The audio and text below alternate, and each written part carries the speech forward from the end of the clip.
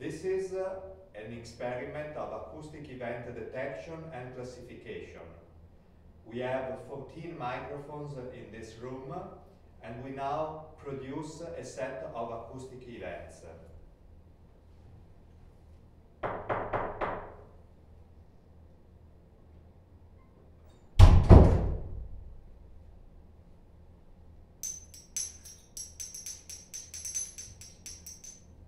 I move to the center of the room.